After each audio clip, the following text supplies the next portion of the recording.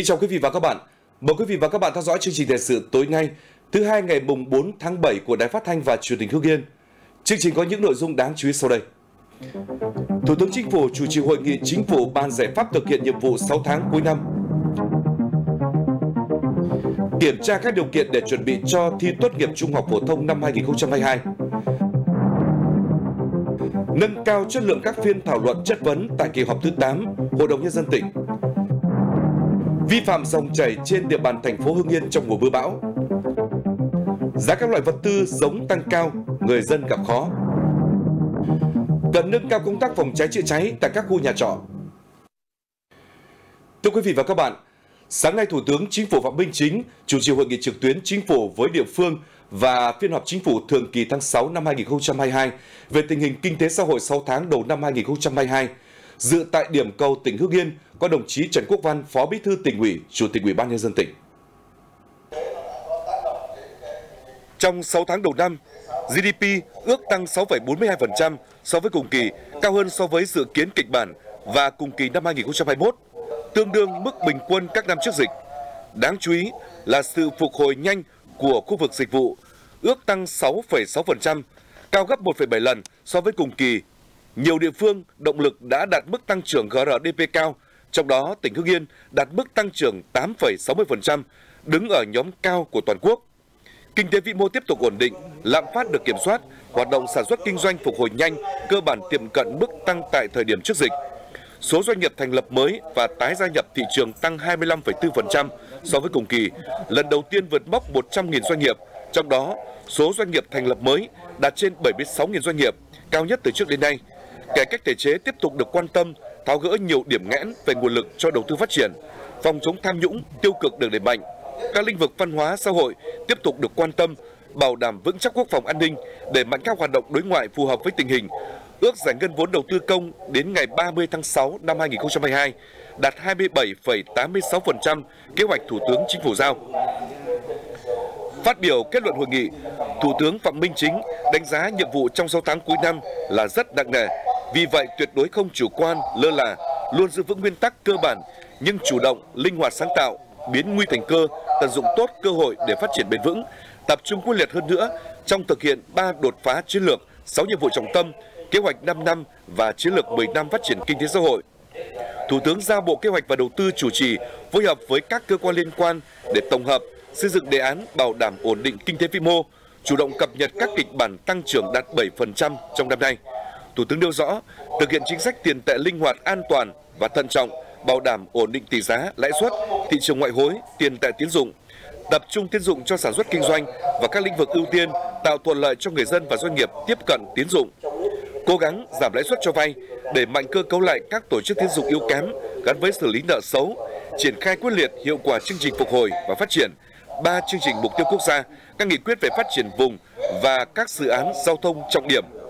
Thực hiện tốt chính sách đối với người có công, gia đình chính sách, tập trung tổ chức tốt kỳ thi trung học phổ thông và tuyển sinh đại học, giáo dục nghề nghiệp, quan tâm giải quyết vấn đề môi trường, đẩy nhanh tiến độ xây dựng pháp luật liên quan đến quản lý tài nguyên, nhất là về đất đai. Hôm nay, các thành viên Ban chỉ đạo thi tốt nghiệp trung học phổ thông 2022 tỉnh đã đi kiểm tra công tác chuẩn bị thi tại một số điểm thi trên địa bàn tỉnh. Hiện các điểm thi trên địa bàn tỉnh đã hoàn thành việc xếp số báo danh, xếp phòng thi theo từng bài thi, môn thi, in và trả giấy báo dự thi cho thí sinh, tập huấn nghiệp vụ tổ chức coi thi cho cán bộ, giáo viên, nhân viên tham gia làm nhiệm vụ tại kỳ thi. Chất lượng cơ sở vật chất, trang thiết bị cần thiết, công tác y tế, hậu cần, in, sao đề thi cũng được chủ động xây dựng kế hoạch sẵn sàng thực hiện theo phương án đảm bảo tuyệt đối an toàn, bảo mật, đáp ứng đúng yêu cầu của quy chế thi và hướng dẫn của Bộ Giáo dục và Đào tạo. Ban chỉ đạo thi tốt nghiệp trung học phổ thông năm 2022 tỉnh thành lập các đoàn kiểm tra công tác chuẩn bị điều kiện tổ chức kỳ thi tại 31 điểm thi trên toàn tỉnh. Qua đó yêu cầu các điểm thi khẩn trương khắc phục thiếu sót, hoàn thiện ngay công tác chuẩn bị. Trong đó, chú trọng đảm bảo an toàn tuyệt đối tại khu vực lưu trữ bài thi, đề thi, ngăn chặn và phát hiện kịp thời các trường hợp gian lận thi cử, đồng thời chuẩn bị đầy đủ các điều kiện về hậu cần, vật tư y tế để kỳ thi được diễn ra an toàn, đúng quy chế. Kỳ thi tốt nghiệp trung học phổ thông năm 2022 diễn ra từ ngày mùng 6 đến ngày mùng 9 tháng 7. Tỉnh Hưng Yên có gần 14.000 thí sinh đăng ký dự thi, trong đó có gần 700 thí sinh tự do. Số thí sinh chỉ dự thi tốt nghiệp trung học phổ thông là trên 1.600, thi tốt nghiệp trung học phổ thông và tuyển sinh đại học là trên 11.700, chỉ thi tuyển sinh đại học là 608 thí sinh. Toàn tỉnh có 31 điểm thi với số lượng 607 phòng thi. Thưa quý vị và các bạn, Thường trực Hội đồng Nhân dân tỉnh Hưng Yên ấn định tổ chức kỳ họp thứ 8 Hội đồng Nhân dân tỉnh khóa 17 nhiệm kỳ 2021-2026 trong hai ngày từ ngày mùng 6 tháng 7 năm 2022 đến ngày mùng 7 tháng 7 năm 2022, khai mạc lúc 7 giờ 30 phút ngày mùng 6 tháng 7 năm 2022. Nội dung đánh giá tình hình phát triển kinh tế xã hội 6 tháng đầu năm, mục tiêu nhiệm vụ giải pháp 6 tháng cuối năm 2022 và xem xét quyết định một số nội dung quan trọng thuộc thẩm quyền của Hội đồng Nhân dân tỉnh trong các ngày diễn ra kỳ họp đều được Đài Phát thanh và Truyền hình tỉnh Hưng Yên truyền hình trực tiếp. Thưa quý vị và các bạn, nhằm chuẩn bị tốt các nội dung để tổ chức kỳ họp thứ 8 Hội đồng Nhân dân tỉnh khóa 17 và tiếp tục nâng cao chất lượng phiên thảo luận, chất vấn và trả lời chất vấn tại kỳ họp.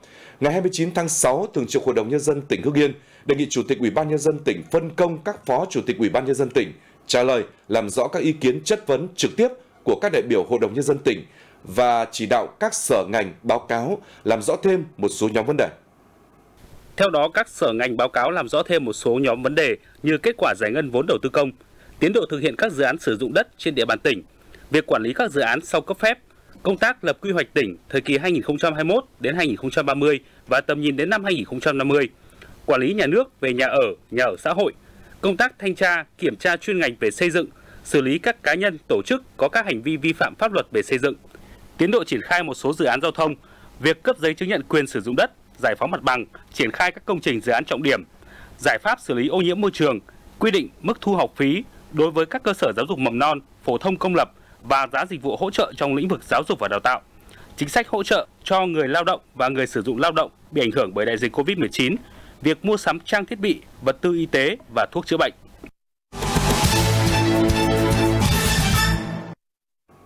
Thưa quý vị và các bạn, Thời gian qua, huyện Yên Mỹ tập trung phát triển các cụm công nghiệp.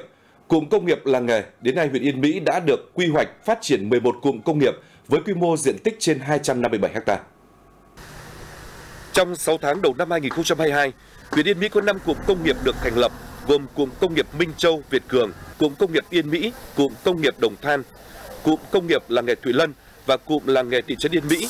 Các cụm công nghiệp sẽ phát triển sản xuất công nghiệp, hỗ trợ các ngành điện tử, ô tô cơ khí, công nghiệp công nghệ cao, các dự án sử dụng tiết kiệm năng lượng thu hút các doanh nghiệp, hợp tác xã, hộ sản xuất kinh doanh thuộc các làng nghề truyền thống. Hiện nhiều cụm công nghiệp đã hoàn thiện cơ sở hạ tầng, thu hút các doanh nghiệp, cơ sở sản xuất. Đấu thầu mua đất hơn chục năm, đến nay vẫn chưa được nhận. Đây là câu chuyện của 38 lô đất đang tồn tại ở phường Bạch Sam, thị xã Mỹ Hào.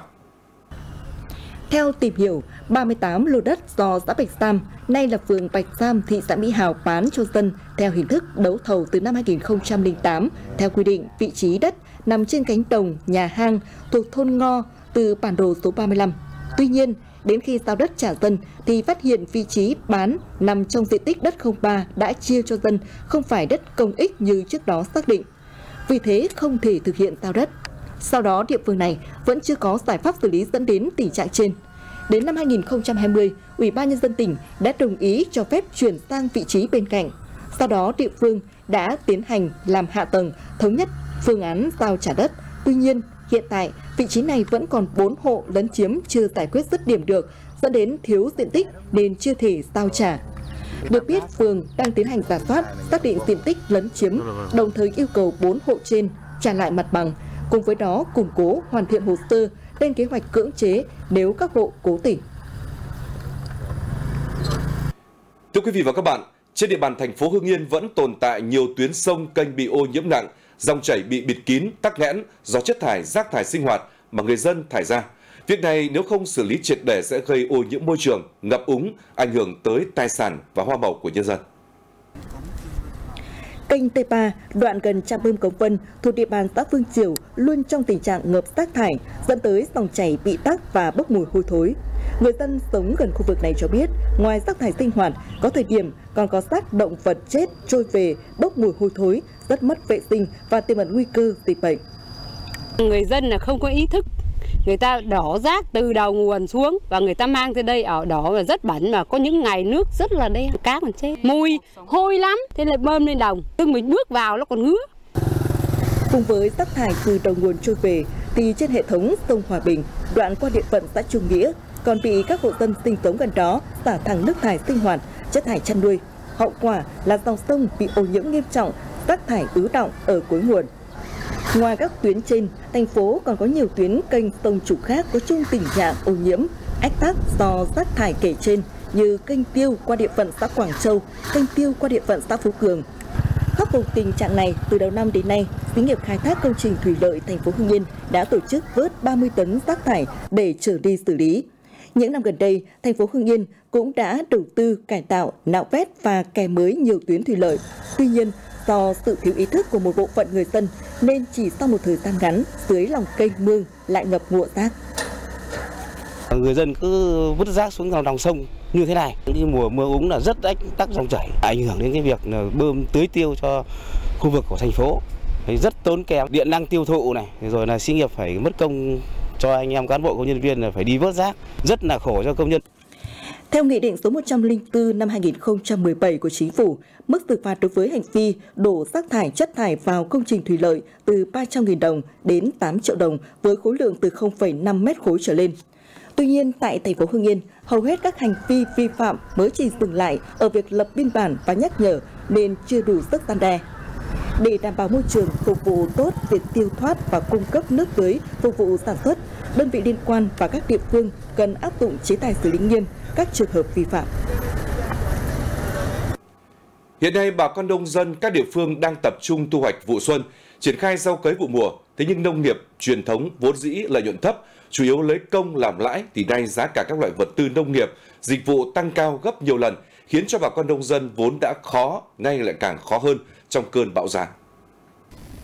Xuống đồng chăm sóc mạ non và rắc phân bón tổng hợp NPK cho hơn 7 sao lúa của gia đình. Bà Trưa ở xã Hùng An, huyện Kim Động, loay hoay không biết phải tính toán như thế nào cho vụ mùa này để gia đình có lãi. Bởi bão giá khiến cho thu nhập từ việc bán thóc, gạo của gia đình không đủ chi phí đầu vào để sản xuất. Năm ngoái thì chúng tôi mua là đi ờ, ờ, hai trăm rưỡi một bao là 25 cân. Ờ, bây giờ nó lên 300, công cấy thì 4 400 ờ, một sao. Thế cho nên là chúng tôi cũng biết là ờ, làm mà không ăn thua gì nhưng mà chúng tôi có nhà lông, chúng tôi có dân ruộng chẳng lẽ chúng tôi cũng bỏ không. Đây cũng là nỗi lo chung của hầu hết bà con nông dân thời điểm này. Đặt lên bàn cân cho toàn bộ các công đoạn sản xuất từ khâu giống đầu vào, thuê nhân công, máy cày, máy lồng làm đất cho đến khi thu hoạch thì giá của dịch vụ nào cũng tăng từ 30 đến 50% so với thời điểm trước đây. Một sào cây lồng này và một công gạ tăng so với trước tầm 5 đến 60 lấy công lao động bằng trực tiếp người dân hiện nay rất khó thuê. Do ảnh khí hậu thời tiết về sức khỏe con người phải thuê 400 rưỡi công một lao động. Trước đây thì là máy gặt với cả máy cày thì cái giá dầu thì nó, nó ngày xưa thì nó rất là rẻ. Đấy bây giờ là nó tăng lên ờ, một gấp đôi rồi cái hợp đồng trước đây của chúng tôi là 140 bây giờ là tăng lên tầm tầm 6 tầm 7 đấy thì anh em chúng tôi làm mới có công thật để hạn chế ảnh hưởng của giá vật tư nông nghiệp dịch vụ tăng cao, các địa phương cùng người nông dân đã có những thay đổi trong phương thức sản xuất nông nghiệp, cân đối chi phí cho các công đoạn, nhưng thực tế, các giải pháp này vẫn thiếu tính bền vững lâu dài. Vì công cây quá cao, chúng tôi muốn đổi cho nhau, nhà nọ cái kia, chịu đỡ bớt chi phí đi, nếu mà chúng tôi thuê hết dân không có lãi. Đảng ủy ủy ban xã cũng đã họp và tuyên truyền ờ, bà con ờ, cố gắng ờ, gieo thẳng 100% diện tích để nhằm giảm thiểu tối đa cái ngày công lao động của mình trên một xào lúa. Và thứ hai là cũng quán triệt cùng với các cái địa phương là hợp đồng rõ ràng với các cái chủ máy tránh sự nên giá đột biến cho các chủ máy dựa vào sự nên giá của xăng dầu. Thu nhập không ổn định lại phụ thuộc quá nhiều vào thị trường nên tình trạng hoang hóa ruộng bỏ không ở các địa phương lại có chiều hướng gia tăng, nhất là trong thời điểm bão giá hiện nay. Vì thế rất cần những cơ chế chính sách phù hợp, mang tính lâu dài để hỗ trợ khuyến khích người nông dân trong sản xuất nông nghiệp. Trên địa bàn tỉnh Hưng Yên thường xuyên có tới cả nghìn nhà cho thuê trọ với khoảng vài chục nghìn người đến thuê ở trọ. Thế nhưng, một số chủ nhà trọ vẫn rất thờ ơ với công tác phòng chống cháy nổ, dù biết rõ cháy nổ có thể xảy ra bất cứ lúc nào. Nhà trọ cao cấp Hùng Dũng, thôn Liêu Trung, xã Liêu Xá, huyện Yên Mỹ. Khu nhà khang trang 4 tầng, bên trong các căn phòng trọ đều được xây dựng khép kín, có đầy đủ tiện nghi như điều hòa, nóng lạnh, thậm chí là nấu ăn, có cửa hành lang nhưng không có cửa thoát hiểm và không có bất cứ một thiết bị phòng chống cháy nổ nào. Ở đây thì hiện tại thì chưa có cửa để thoát hiểm, chuông báo động, còi trong báo động, bình chữa cháy. Ở đây thì em cũng, cũng khá khá lo về vấn đề phòng cháy chữa cháy.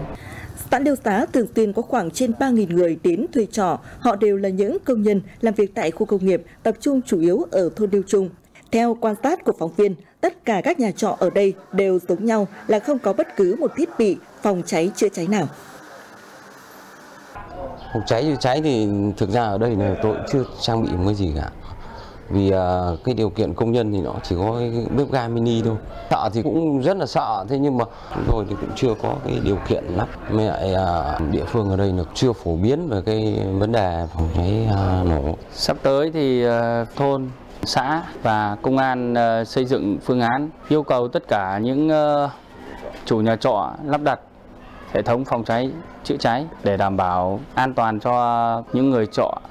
Còn đây là khu nhà trọ của gia đình ông Đinh Xuân Lợi ở thôn Như Quỳnh, thị trấn Như Quỳnh, huyện Văn Lâm. Với hai dãy nhà cao 4 tầng, tổng số 68 phòng, thường xuyên có 100 người trọ. Dù được coi là khang trang hiện đại nhất, nhưng mỗi tầng cũng chỉ được trang bị một bình chữa cháy duy nhất. Và khi kiểm tra bình đều đã hết hạn sử dụng, áp suất tụt và hoen tỉ như thế này. Trong khi đó, điều kiện bên ngoài thì chằng chịt không an toàn. Bên trong, nhiều cư dân hàng ngày vẫn nấu ăn trong phòng. Phòng chống cháy ở đây thì nói chung là cũng trang bị đầy đủ. Các tầng có bình này, rồi các biển tiêu lệnh chống chữa cháy này. Mỗi tầng một bình theo cái đường cầu thang. Một tầng là 16 à, phòng. Ngoài cái bình ra không không có cái hệ thống gì cả. Chưa cũng đã sử dụng coi như thế là hai ba lần cháy cái điện chập cháy ở cổng ấy kìa. Đấy, là con tôi có đứng ở sân rồi tôi phụt lên rồi. Thị trấn Như Quỳnh thường xuyên có khoảng 4.000 cư dân đến ở trọ. Thế nhưng tất cả đều trong tình trạng không có hệ thống phòng cháy chữa cháy hoặc nếu có chỉ là hình thức mà thôi. Thực tế trên cho thấy vấn đề phòng cháy chữa cháy ở các khu nhà trọ vẫn chưa được coi trọng. Cùng với đó là sự chủ quan của các chủ nhà trọ. Rất mong các địa phương có cư dân đến trọ tăng cường tuyên truyền về luật phòng cháy chữa cháy nhằm nâng cao nhận thức, ý thức của người dân nói chung và các chủ nhà trọ nói riêng. Đồng thời có biện pháp mạnh theo phân cấp quản lý về lĩnh vực này để các nhà trọ thực hiện theo đúng quy định của pháp luật về phòng cháy chữa cháy.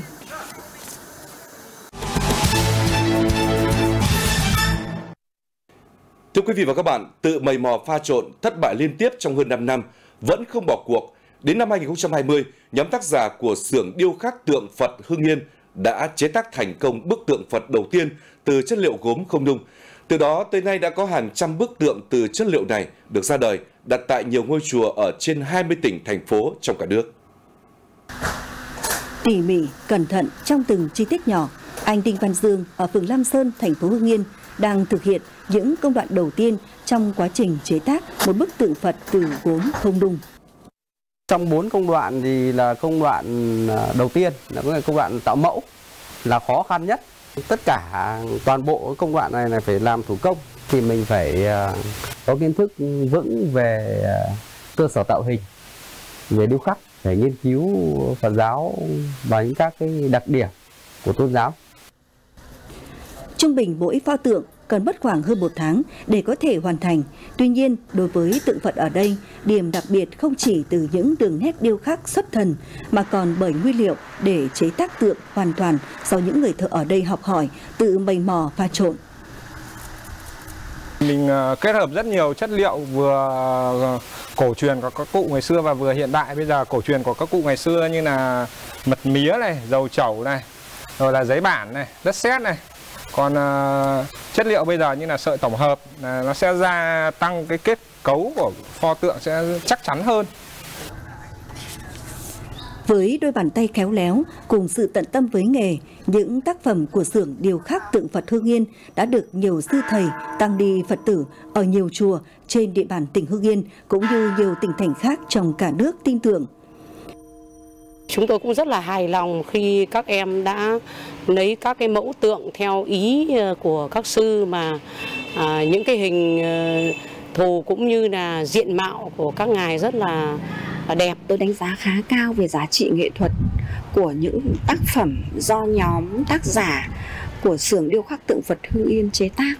Những cái khối này nhóm tác giả thể hiện rất là tốt, căng, đầy, rất là hài hòa và đặc biệt về biểu cảm những tác phẩm đã lột tả được phật tính thể hiện qua ánh mắt qua lông mày Chương trình thời sự trong tỉnh của Đài Phát thanh và Truyền hình Hưng Yên xin được khép lại tại đây. Quý vị và các bạn có thể xem lại chương trình trên các nền tảng số của đài như ứng dụng di động Hưng Yên TV Go, trên website tại địa chỉ hưng yên tv.vn, trang fanpage tin tức Hưng Yên 24 trên 7 HITV, kênh YouTube Truyền hình Hưng Yên HITV. Cảm ơn quý vị và các bạn đã quan tâm theo dõi. Xin kính chào tạm biệt và hẹn gặp lại.